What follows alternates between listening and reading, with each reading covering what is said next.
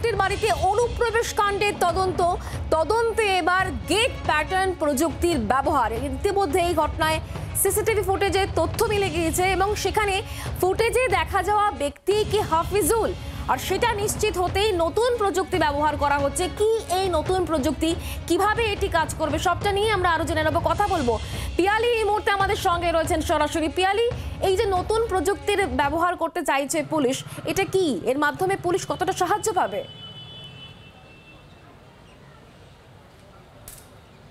এটা একেবারে অত্যন্ত নতুন প্রযুক্তি এবং পদ্ধতি, যেটা কলকাতা পুলিশ আর এই প্রথমবার ব্যবহার করছে তাদের কোনো তদন্তে। এবং এটা অত্যন্ত গুরুত্বপূর্ণ, তার কারণ তদন্তকারী অফিসাররা এর আগে আদালতে যেটা জানিয়েছিলেন যে এই অভিযুক্ত হাফিজুল মোল্লা হাসনাবাদের বাসিন্দা আগে অন্তত দশ থেকে বারো বার মুখ্যমন্ত্রীর বাড়ির এলাকায় এসেছিলেন এবং সেখানে রেকি করেছিলেন এবং ছোট ছোট বাচ্চাদের কাছ থেকে তথ্য সংগ্রহ করেছিলেন এবং সিসিটিভিতে সেই ছবি ধরা পড়েছে। এবং সেই যে সিসিটিভিতে যে ছবি ধরা পড়েছে, সেই ব্যক্তি যে হাফিজুল মোল্লা, সেটাকে প্রমাণ করার জন্য আদালতে পরবর্তী সময় যখন বিচার প্রক্রিয়া চলবে, সেটাকে প্রমাণের জন্য অন্যতম গুরুত্বপূর্ণ হাতিয়ার হয়ে উঠতে পারে এই গেট প্যাটার্ন পদ্ধতিতে পাওয়া পরীক্ষা রিপোর্ট কীভাবে সেটা করা হয়? তদন্তকারী অফিসাররা যেটা বলছেন যে, অনেক সময় সিসিটিভিতে ছবি ধরা পড়ে, কোনো সময় অস্পষ্ট ছবি আসে, কোনো সময় অভিযুক্ত নিজেকে আড়াল করতে হেলমেট অথবা মাস্ক অথবা কোনো মুখোশে মুখ ঢাকে। কিন্তু এই গেট প্যাটার্ন পদ্ধতিটা এমন একটা পদ্ধতি যে সিসিটিভিতে ধরা পড়া ছবি এবং যাকে সন্দেহ করা হচ্ছে সে একই কিনা, সেটা স্পষ্ট হয়। কীভাবে?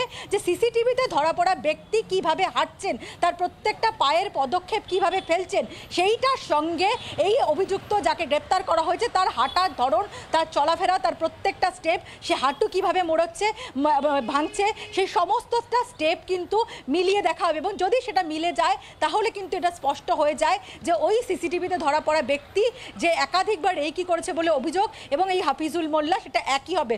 মূলত ফরেন্সিক বিশেষজ্ঞ এরা এবং সায়েন্টিফিক উইংয়ের অফিসাররাই এই পদ্ধতিতে, এই পরীক্ষা করে থাকে এবং কলকাতা পুলিশ এই প্রথমবার এই প্রযুক্তির সাহায্য নিতে চাইছে।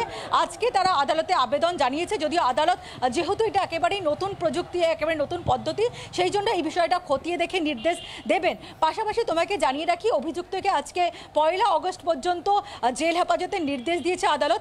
একই সঙ্গে তদন্তকারী অফিসারদের তরফ থেকে তাদের যেটা বক্তব্য ছিল যে, এই মামলার এখনও তদন্ত চলছে এবং এই অভিযুক্তকে জেরা চালিয়ে যাওয়া অত্যন্ত গুরুত্বপূর্ণ। সেই কারণে তাকে জেলে গিয়ে জেরারও তারা আবেদন জানিয়েছিলেন সেই আবেদন আদালত মঞ্জুর করেছে। একই সঙ্গে আজকে আদালতে তদন্তকারী অফিসারদের আরেকটা একটা বক্তব্য ছিল। এর আগে আমরা দেখেছিলাম যে এই অভিযুক্ত এগারোটা সিম ব্যবহার করে একাধিক রাজ্যের লোকজনের সঙ্গে তার যোগ মিলেছিল, বাংলাদেশ যোগ পাওয়া গেছিল। আজকে তদন্তকারী অফিসাররা একটা তথ্য আলাদা আদালতের কাছে পেশ করেন যে এই অভিযুক্তকে কয়েক মাস আগে রাজস্থান পুলিশ খুঁজতে এসেছিল।